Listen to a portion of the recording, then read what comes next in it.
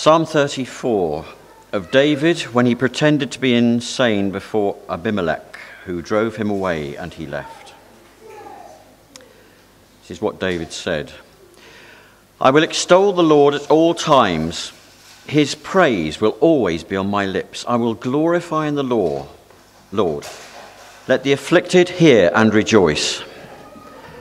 Glorify the Lord with me. Let us exalt his name together. I sought the Lord, and he answered me. He delivered me from all my fears. Those who look to him are radiant, their faces are never covered with shame. This poor man called, and the Lord heard him. He saved him out of all his troubles. The angel of the Lord encamps around those who fear him, and he delivers them. Taste and see that the Lord is good. Blessed is the one who takes refuge in him. Fear the Lord, you his holy people, for those who fear will lack nothing. The lions may grow weak and hungry, but those who seek the Lord lack no good thing. Come, my children, listen to me. I will teach you the fear of the Lord. Whoever of you loves life and desires to see many good days, keep your tongue from evil and your lips from telling lies. Turn from evil and do good. Seek peace and pursue it. The eyes of the Lord are on the righteous, and his ears are attentive to their cry. But the face of the Lord is against those who do evil, to blot out their name from the earth. The righteous cry out, and the Lord hears them. He delivers them from all their troubles.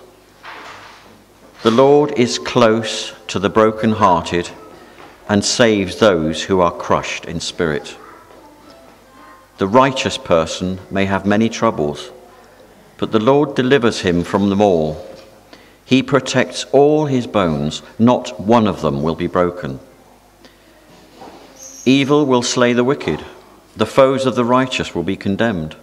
The Lord will rescue his servants. No one who takes refuge in him will be condemned. This is the word of the Lord. Good morning. Um, I have no words in African uh, for you. Uh, I, I, I, couldn't quite get the hang of the African language at all, so and we had everything translated into a different language for us, which was great. But it's really good to be uh, back. But it was really good to be there. I had a fantastic time um, the last two weeks, and it's just been. Um, well, the, you always got to watch when someone goes away and has a very exciting time because they just can't help talk about it endlessly. And it's fine once or twice, isn't it? But then after a while, it gets a bit like a broken record. And, and if I mention Africa every week for the next few weeks, just bear with me. It won't last forever, but it, it really was very, very significant in all kinds of ways. I traveled um, by Ethiopian Airlines very, very um, good company. And uh, we landed in Addis Ababa, uh, which is a chaotic, noisy, uh, clashing, uh, very contrasting place where it seems to be held up by concrete and sticks and mud and just everything in between. Um, very, um, very noisy, no uh, traffic lights in Addis Ababa. Uh, there are a few roundabouts, but most of the time you just kind of go. A bit like you do when you're walking through Southmead and you just kind of want to walk across the one way to another and people are going up the other way. You just kind of go.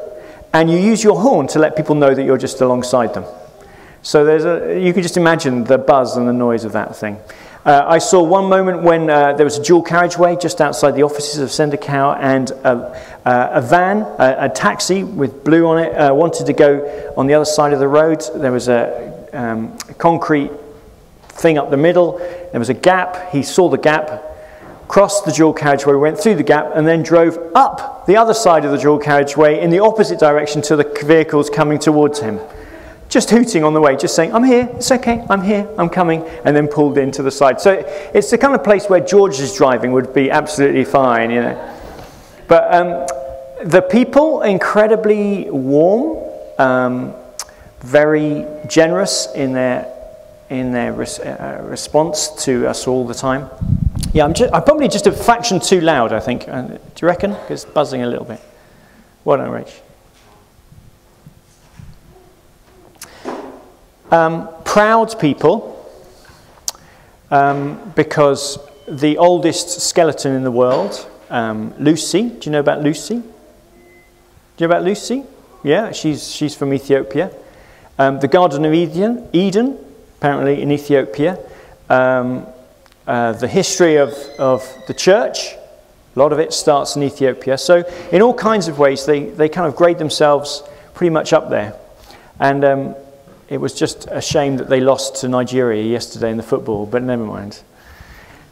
Um, we're going to look at this passage from uh, Psalm 34 and let's pray together. God, I pray that your Spirit would use these words that I have and the words that King David had, and I pray that your Spirit would knit them together and help us to hear from you this morning. For the next 15, 20 minutes, I pray, Father, that, that we would connect emotionally with, with ourselves and also with how you feel for ourselves, for us, for each one of us. I thank you that you know every single thing about us, that there is nothing hidden. And even if we have put walls up against you, you can see behind them. You know the reality of our hearts. I thank you that you are full of love towards every single one of us and that you're here for us. And I pray that I would learn and that we would learn as a community how to trust you and how to find safety and security from you alone. I pray that you'd work among us as we, as we chat and pray and listen together. Amen.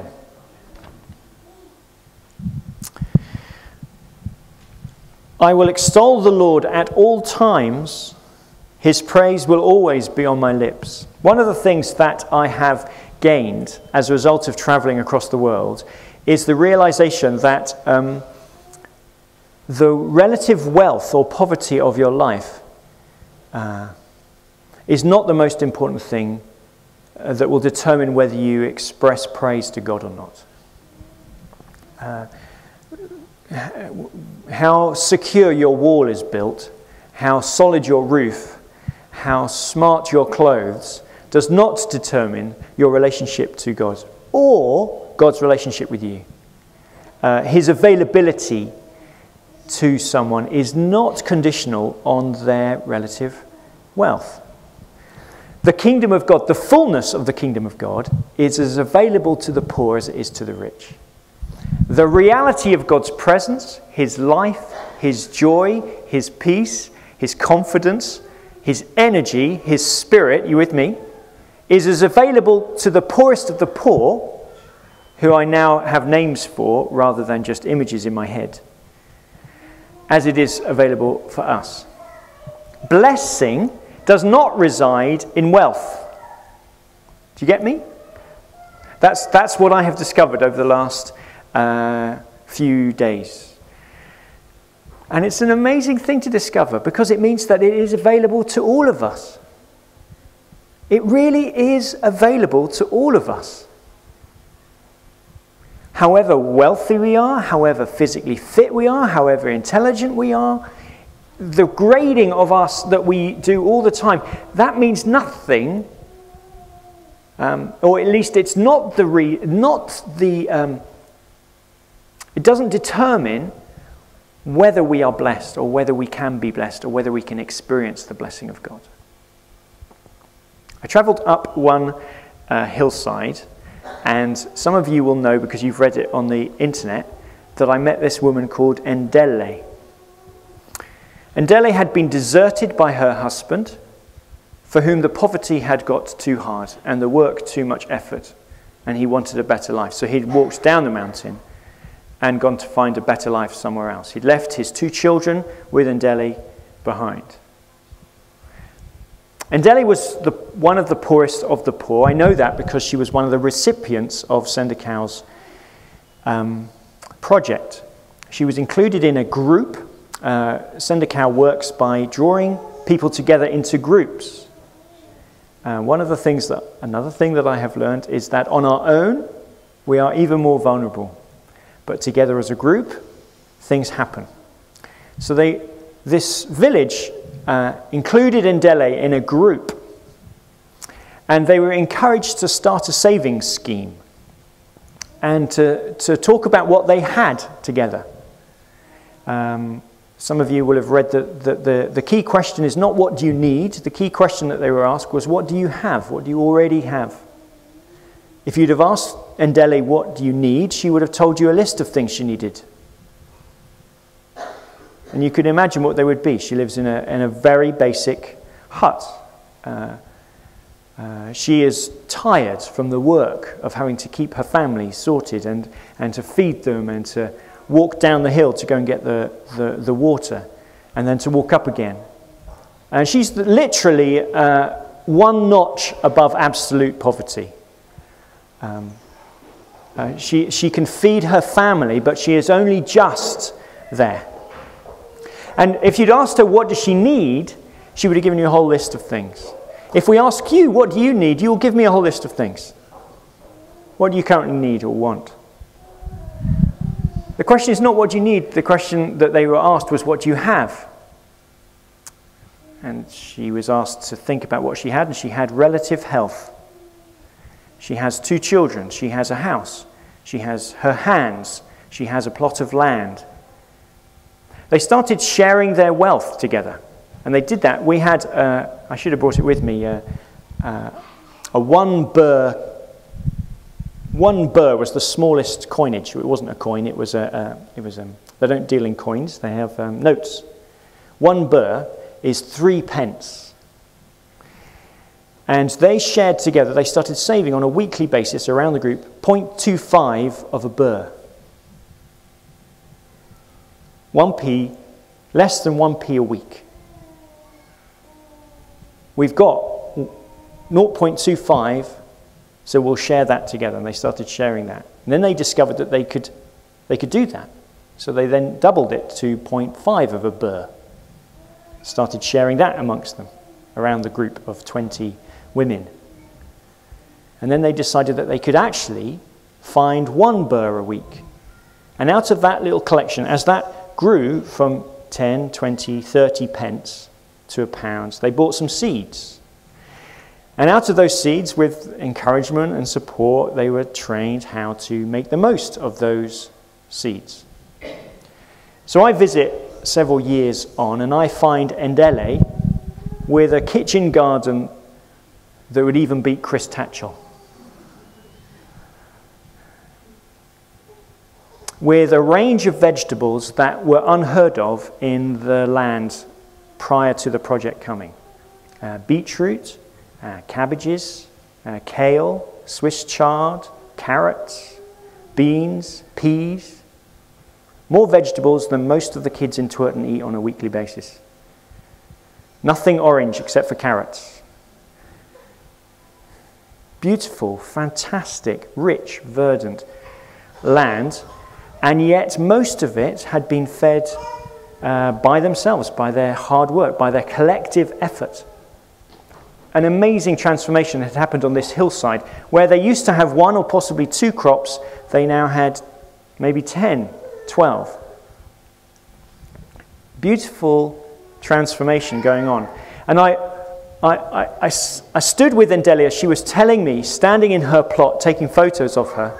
And I stood with her, and and every time she mentioned how brilliant it was, she would give thanks to God. I will extol you at all times. I will give thanks to you, O Lord my God. The poorest of the poor have access to praise and joy as much as we do, if not more. Jesus said, Blessed are the poor, for theirs is the kingdom of heaven. And I have never understood it. Until, until I saw it and felt it and experienced the blessing that they had, the life that these guys had. the love that they shared, the joy that they experienced, the, the, the pleasure that they were sharing with one other was, was purer than many of the blessings that we experience in our, in our culture. Blessed are the poor. The blessing of God can come to the poorest of the poor, for these people are just a notch above starvation, just one notch. Amazing. So here we are in, in, in our world. And what's going on in your head at the moment? Any anxieties, any issues, any insecurities? Uh, the talk today is about um, our longings for security. Um, if I drew a line across the front between secure and insecure, where would you put yourself? Would you put yourself at the secure end or would you put yourself at the insecure end? And you might like to think about that as economic security. Where are you? Economically very secure, economically very insecure. Have you got yourself lined up on, on the line somewhere? Yeah? Have you? Okay. Now do about emotional security. You emotionally secure, you feeling confident and, and proud and, and secure and safe? Or are you someone who is feeling insecure, defensive, anxious, worried?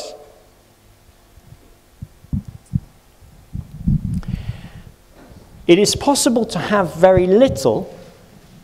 It is possible to have very little and yet be completely safe.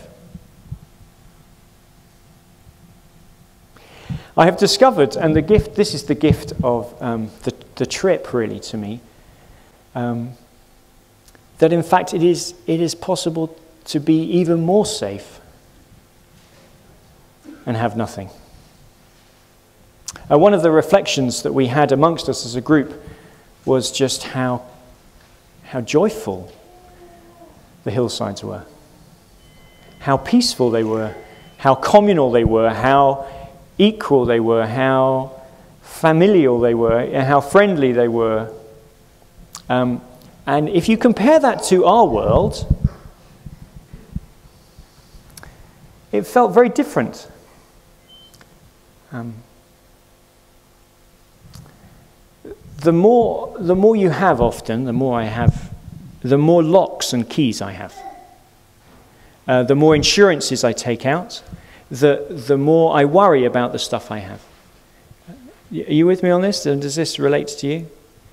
Everything we have we are, we, gives us more things to be anxious about. So it tends, it, my experience of this last week is that, that these people who had nothing economically actually had an, a huge amount of security internally.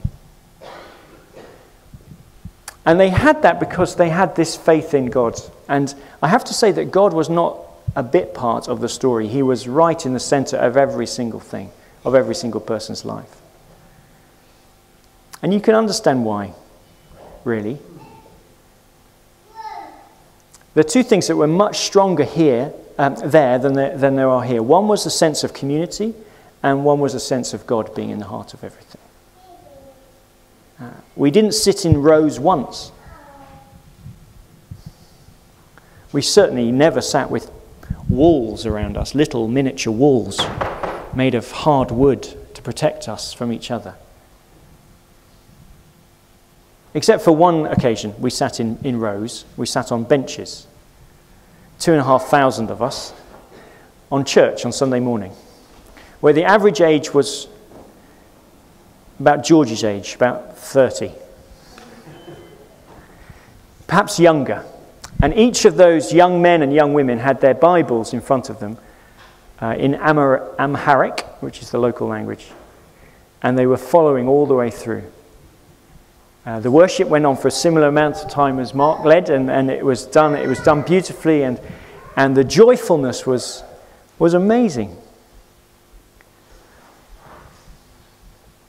Every other time we, we stood in circles and we were one together. And there is something about economic growth that seems to make separate you, it seems to me, from your neighbor. That as we become secure in ourselves, we actually become less dependent on, on the person next to us. Do you, do you notice that? And we saw that even in incremental ways as farmers that had started off in collectives had become, as they had grown in confidence and wealth, begun to become individuals and think of their farm and their cows rather than our land and our inheritance. It was really interesting to see the, the shift that goes on, even at the smallest level. And of course, here we are in our own worlds, and you don't know how much I earn. You don't know how I spend my money. You don't, you don't, you don't know me. I don't know you. We don't share our goods one with each other. If there is need among us, we don't share these problems and concerns very openly with each other. We, are, we don't expect to do this. We are individuals. So the question is who's safer? Are we safer on our own without God? Or the poor safer with God and together? I will extol the Lord at all times. His praise will always be on my lips. I will glory in the Lord. Let the afflicted hear and rejoice. Glory, glorify the Lord with me. Let us exalt his name together. I sought the Lord and he answered me. He delivered me from all my fears. Those who look at him are radiant, their faces are never covered with shame. The poor man called, and the Lord heard him. He saved him out of his troubles. For the angel of the Lord encamps around those who fear him, and he delivers them. Taste and see that the Lord is good. Blessed is the one who takes refuge in him.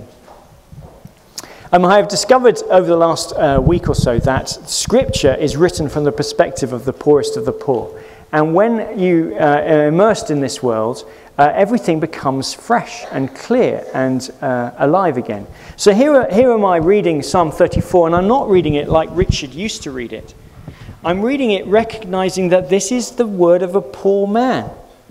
This, is, this resonates in a, in a world where it is very uncertain that the rains will come it is not guaranteed that I'll have, I'll have a future in a year's time. That this, that this is written from the place of a, of a farmer. And when I read it from a place of a farmer up a hillside, I suddenly recognize that this is urgent. This is important. We, this is written from the place of someone who is desperate for God to intervene in their lives and anxious for God to be part of every single aspect of their lives and who needs to build their life on the rock because their life is very uncertain. And the difference between me and these people that I met is that I have many other places of which to get my security. My family is a place of security. My inheritance, my uh, education is a place of security. My relative, my relative wealth is a place of security. The fact that I've got the welfare state is a place of security. All kinds of other places of which to put my security other than my dependence on God. Now, that might not be a bad thing hear, hear me on this. It is not a bad thing to have all those things, is it? It can't be a bad thing. But what would it be like if I could have the security that comes from knowing and being in the center of God's will all the time? Then it wouldn't matter whether I happen to have a lot or I happen to have not very much, which is where Paul ends up. Do you remember him saying that? I'm content with much and I'm content with little. What he had discovered was that poverty is not the place where blessing ends. In fact, even in poverty, you can discover security and blessing. And wealth is not a place where you discover blessing and security. In fact, in richness, in, in wealth and in riches, we can discover the opposite of security and blessing. Honestly, I, I, I, uh,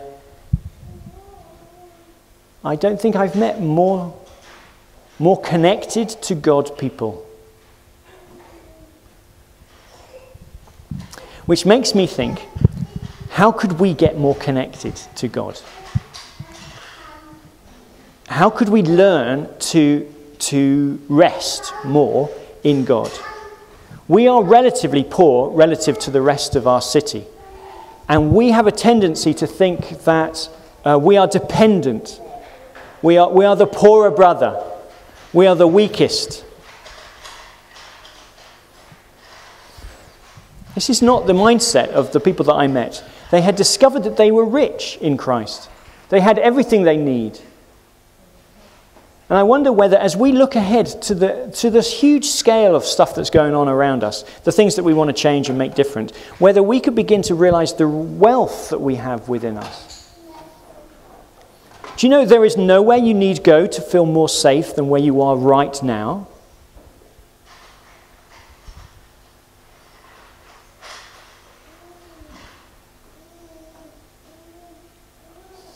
There is nowhere you need to go to feel more safe than where you are right now. That the security and blessing of God for your life right now, for a life without anxiety and, and, and with a sense of God's blessing on you, is available to you right now where you are. You don't have to leave. You don't have to get a better job. You don't have to move house. You don't have to change everything. That, that the blessing of God, the kingdom of God, is available to us right now. Does, does that resonate with you?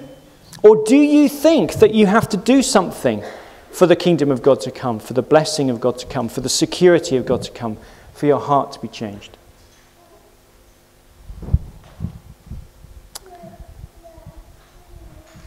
I think, I think we're caught up in our culture for looking for the blessing of God in all the wrong places. And it's available to the poorest of the poor. And if it's available to the poorest of the poor, then it must be available for us here. It must be available for us here.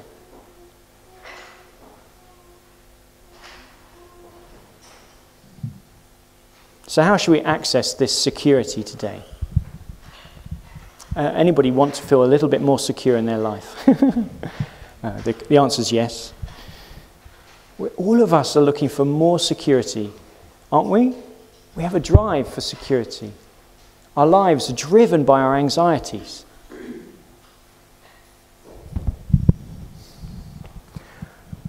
Yeah. So, how do we access this security? Any thoughts going on in your head?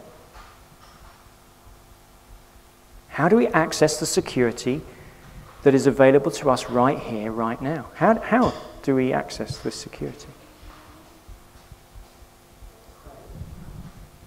Pray. Okay, so what are, what are you thinking, George? What, what, what would that do? Okay, so, so George is suggesting that we, we connect with God through prayer and that we somehow let go of something. Say that bit again. How, what do we let go of? Well, all of those things that you, you say with, my strength and security. I mean, those are important, but to not think about those all of the time as well sensibility is well, to trust in God. Hmm. It's hard. Yeah, okay, good, thank you. you. So letting go, trusting. Dave, you had your hand up? being really believing that Christ is actually by your side all the time. Yeah. So by actually, did you hear him? By actually believing that Christ is right here by your side at all times. Okay, so we're going to we're going to we're going to do this now. We're going to pray. We're going to we're going to actively let go of some of the things that are on our minds and decide not to trust those things. We're going to imagine that Jesus really is by our sides right now, that he understands and knows everything that we are thinking and fearing and anxious about. And did you have any wisdom to share? Okay, so, so we had another letting go there, a, a letting go of your will and allowing his will to to become re- more real for you or to let that shape your, your thinking. Okay, now my question I think you're all right. You, you, you are all three of you perfectly spot on. But I wonder whether we're able to do this today. I literally, I'm asking myself the question Am I really able to let go of my securities that I have in myself? And, allow, and trust God? Am I really able to pray to Him like I really am depending on Him? Am I really able to imagine that Jesus is with me? Or have I got my mind full of other things? Am I still anxious about donuts or what else is going on in the room? Rather than imagining my, myself as connected to Jesus, the source of all life, the creator of heaven and earth, right sitting next to me, who knows the inner workings of my heart? Am I really able to let go of my will and allow his will to shape my will rather than the other way around? Or am I thinking that if I sort this out, if I get this problem sorted in my own head, then it will be better? Then I'll feel safer. You with me on this? I, I want to encourage us because, because the kingdom of God is available to you and it costs you nothing other than letting go. I mean, it's so free, it's so available to us that, that we would like it another way. We'd like to have to buy something or do something or, or make it happen, but it's so available to us that we can't access it sometimes. Taste and see that the Lord is good. It's, it's available to us right now. now. Does anybody want to increase their level of security right now? Right now. I mean, I'm literally saying right now. I'm not talking about five minutes' time or when you get home or later on this week. I mean, saying, would anyone like to move from a place of relative insecurity to relatively more secure place? Hands up. Anyone like to move from that place? Okay, so we've got some people who'd like to move. That's great. Others of you still deciding whether you want to move or not. Or you're either that or you're feeling so secure already that you don't need to move. I want to move. I have got anxieties. Haven't you? About children, about money, about relationships, about this church. I've got shed loads of them.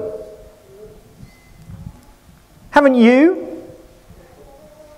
Yeah, loads of them. How are you feeling confident about those right now? Are you feeling are you feeling secure? Are you feeling or are you feeling like the wolf is coming to huff and puff and he'll blow the house down? Incidentally, that story makes more sense if all the houses are made of sticks and mud. And I think, I think we, have, we, have, we forget that this thing is really available to us right now. Shall we pray? Let's do it. Let's do it. Imagine the thing you're, you're most insecure about right now. I, I invite you to, to pray, so maybe to close your eyes, become aware of what is it in your head, in your heart, that is, that is an anxiety right now. Father God, open our eyes to see what it is that we're carrying around in us, that we are uncertain about, that we're insecure about.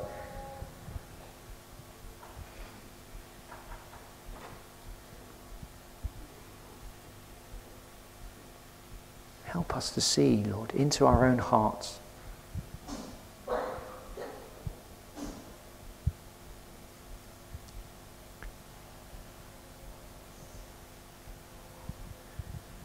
You just want to ask yourself, what, what am I what am I worried about? What's, what's going on in me at the minute?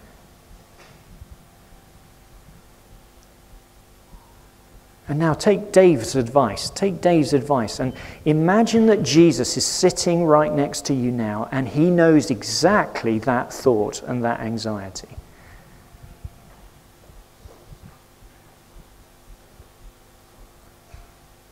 Feel the warmth of his presence alongside you in the reality of your insecurity.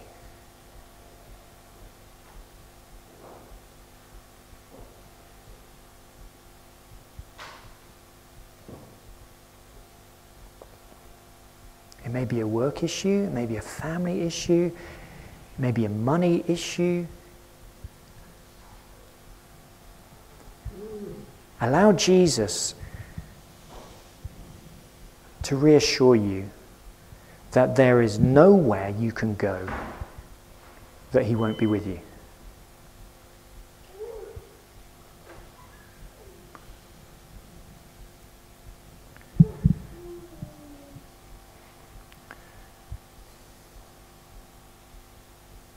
Now, now, as you're beginning to imagine Jesus being right next to you, knowing your, your problem, better than maybe than you even know it yourself. Now you might want to start praying to Him, telling Him, opening yourselves up to Him, something from within your heart. Or you might be hearing from Jesus a word or reassurance, encouragement from Jesus. Enter into dialogue with Jesus right now.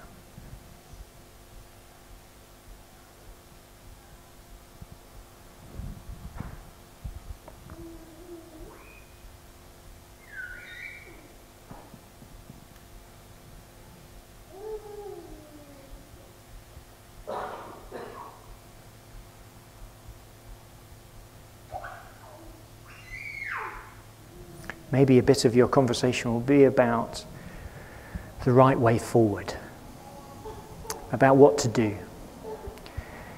And because you have heard today that the, one of the best ways forward would be to allow God's will to shape your way forward and to let your will uh, be less prominent, just uh, agree with that sentiment and, and invite the God of love to direct you and to give you an idea about what the next step is.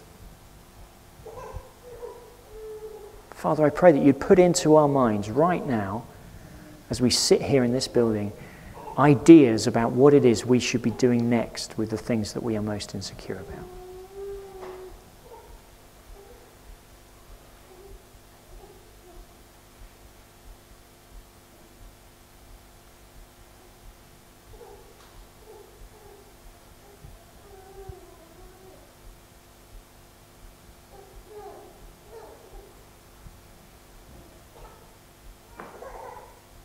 If you've heard anything from God this morning, in your, in your conversation with Him right now, act on it.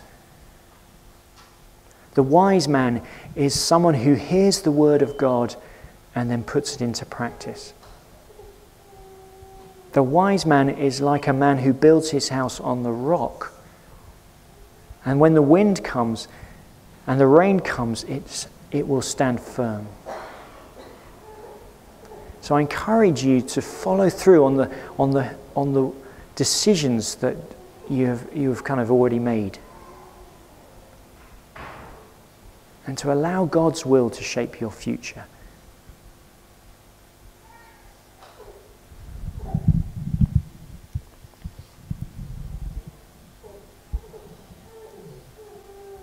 The eyes of the Lord are on the righteous, and his ears are attentive to their cry. The righteous cry out, and the Lord hears them. He delivers them from all their troubles. The Lord is close to the brokenhearted and saves those who are crushed in spirit.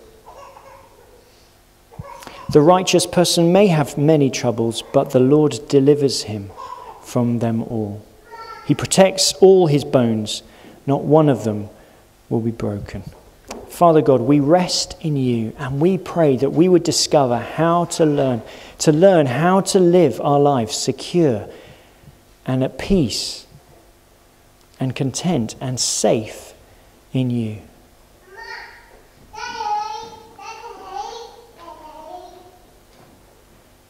And just as a child comes up to his father, we pray that we would learn how to be children that trust you as our Heavenly Father. We pray that you would lead us forward, particularly with this, this whole challenge we have with our building and our, as a church family to work out how, how we should move forward. We pray that you would give us the answers, Father, for we know that you will resource us every step of the way. We thank you that we live right in the center of your heart. We live and rest in your hand, and that there is nothing that can take us from you. Neither death nor power above nor powers beneath, neither death nor life, nothing can separate us from your love. We claim that to be true, Father. We rest in that love and we rest secure in you. Father God, thank you that there is nothing that we need fear because you are with us right at our side. We pray that you would plant in us that security that comes from the presence of your Spirit you would make us strong in you. Protect us with your armor, with your protective arms, with your, your, your hands. May, may we be protected from all the uh, fiery darts of the evil one. May we be protected from any doubt, any fear, any, any wound, Father. We pray that you would make us strong people so that we may dance and sing. We ask this in Jesus' name. Amen.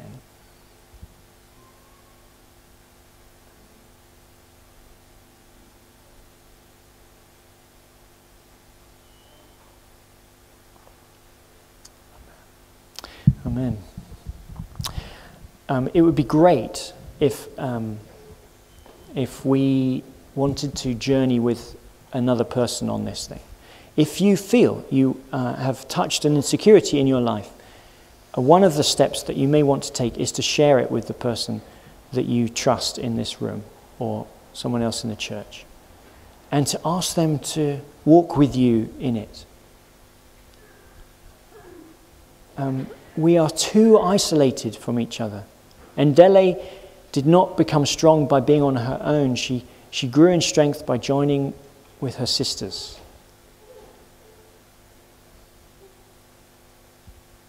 Yeah. Father, help us to share our needs and wants and desires with each other, our concerns, our worries, and to allow you to help, the, help us help one another as we grow together. Father, I pray you'd bind us together into a stronger unity, a stronger community together, that there may be no one in need among us. And may we find the blessing of God in the midst of our community together, not as a group of individuals, but as a body connected to each other. Father, may your blessing rest on us, we pray. May the blessing of God go before us and behind us, hem us in on every side. May your face shine upon us. May you give us your peace. The blessing of God Almighty, the Father, the Son, and the Holy Spirit be with us and, and among us always. Amen.